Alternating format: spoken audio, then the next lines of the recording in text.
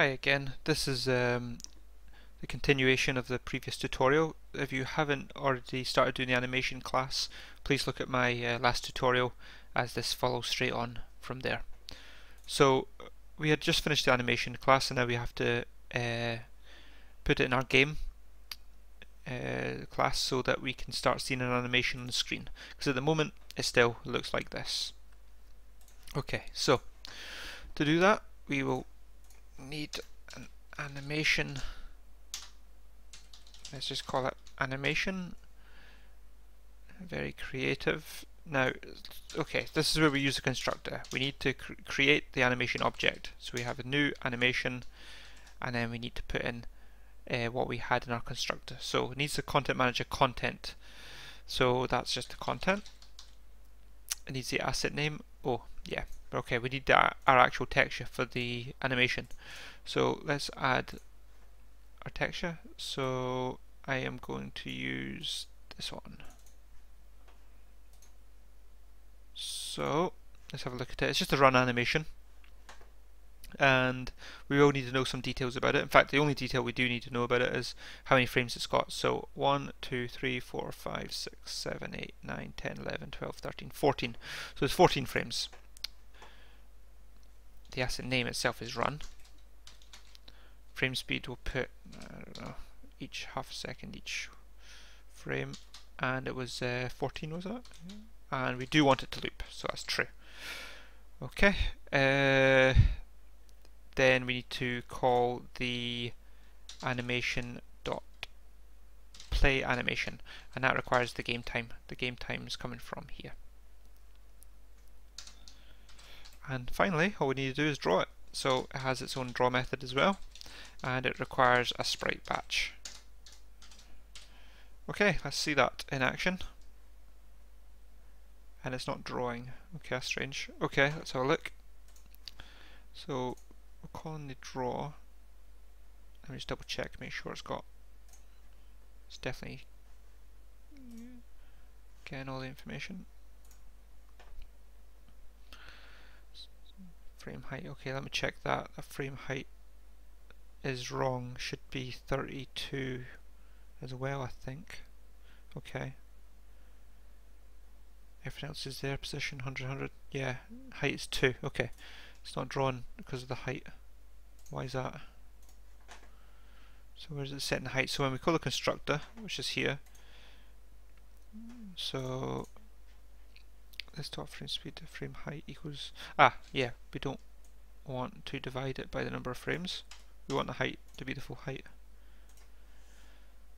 Ah, yeah, that's more like it. Okay, so now we've got the animation running uh, the collision detection is definitely wrong because it's way too big for the animation. You wouldn't be too happy if you're getting hit and it was nowhere near character. So like there, no, I didn't get hit. Okay, so we can change that. So to do that, we want to change the properties of the rectangle of the player bounds. So the x coordinate should be, although this is correct, it's 100, 100, the x and y position is the same as the animation, but what if the animation moves? Then you want it to move with it. So you want it to get the position. Okay, excellent.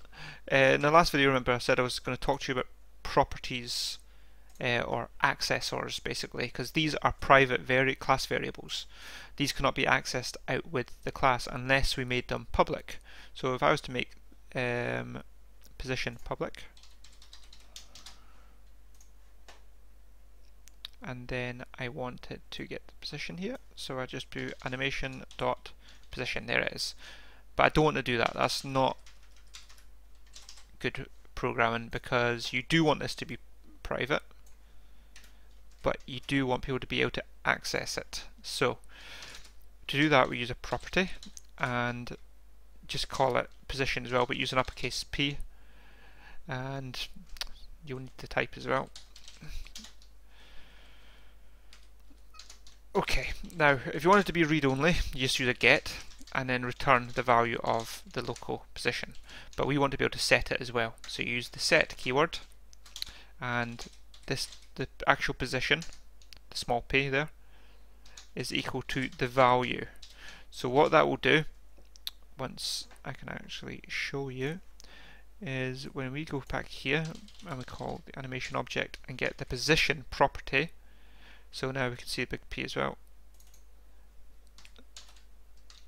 that is getting the value uh, because the rectangle needs to be cast to an int okay so now we can access it from here that's an accessor we could also set the values as well from here. So whatever value we were to put in, so we were to put position.x equals, whatever the equals is, it would set it to the private variable.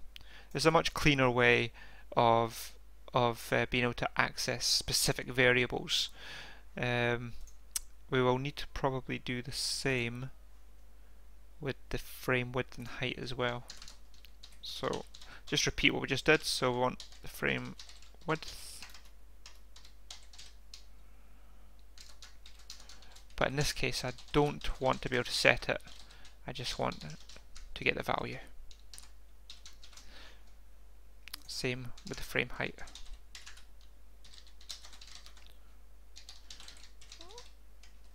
Because we'll be wanting our rectangle bounds to be the same height as our size as our animation so that it has decent collision detection. Okay, that looks okay. So there's three properties there, and let's just start using them. So position.x and int animation.position.y. So that's now still going to be 100, 100, but we don't want the width and height, we want it to be the same as the frame width and frame height.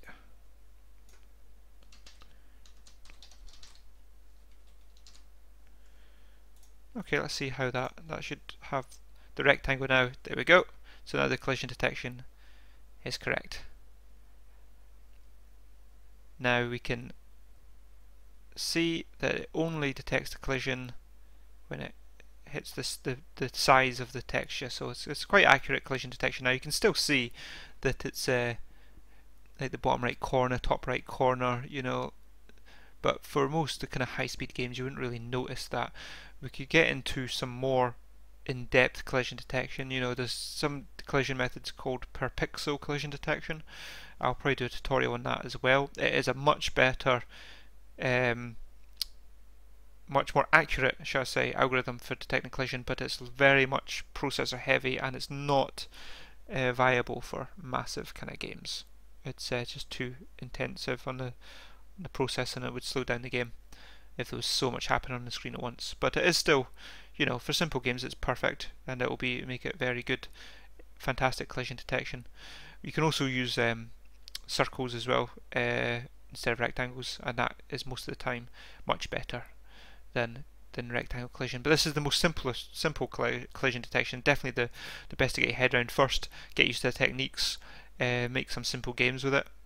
Um, in fact, let's just let's just improve this one just now what we'll do is just to show how we can alter the animations um, properties using the animation manager we can make a property for the frame speed. So what is that? As a float. And it'll be frame speed. So want to if we want to get it it's frame time. And if we want to set it we want this dot frame time to be equal to the value we're going to set it and we'll set it this time so you can see how uh, we can change the property using the well we can change the variable a private class variable using the property and let's say when it intersects we want to change the animation's frame speed to something quite slow 0.3f and we want to set it back to 50 when it's no longer being collision detection. So, so the animation should slow down when there's a collision and it will speed back up when there's not a collision. That might be a, quite a cool little effect. Oh, of course, wait a minute. it's the other way around. Okay. 50. No, wait. speed, animation frame speed. Yeah, yeah, of course it's the other way around. we want the frames to last longer. So yeah, so it's really slow when it collides. That's not very cool though. Let's make it a little bit more cooler. What's a good value for it? 150. Let's three times slow it down. That was too slow. there we go. That's quite cool. Okay, you can think of quite a lot of effects you could do with that. Um, so that's just a little example of things you can do with this animation class. Now remember, the whole point of this animation class was to help with different types of um, animations. So what other animations have I got here? I've got hurricane kick. So let's go one, two, three, four frames, although they don't all look the same size. Let's see if this one will work. I've actually not checked this, so I wonder if it will. Oh yeah, it helps if you actually can hurricane kick. Hurricane kick. Okay, let's see. Hey, there we go. So there's a hurricane kick. And that's how easy it was just to change the animation. But it has completely different height, width properties and frame properties. So now to expand on this, you know, we'll have to create some kind of like uh, lists to contain a lot of different kind of animations and then when you press a key it accesses that animation or you know there's a lot of things we can do and I'll, I'll think of some uh, more tutorials to expand on this animation class. Maybe maybe have an animation manager as well so that we can have a collection of animations for the player and a collection of animations for an enemy and we'll get them working and we'll continue to expand on on what we've learned so thanks very much for watching again please post comments for any help, anything, or how you could improve it, anything, anything really, and what you would like to see in future videos. I am just sticking to XNA 2D tutorials at the moment, so your feedback's always welcome. So thank you very much. Uh, see you next time.